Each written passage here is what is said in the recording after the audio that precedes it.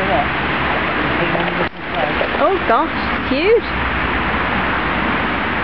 We're scared of him. So just laying there. Bloody hell. Aww. Bloody hell, spells.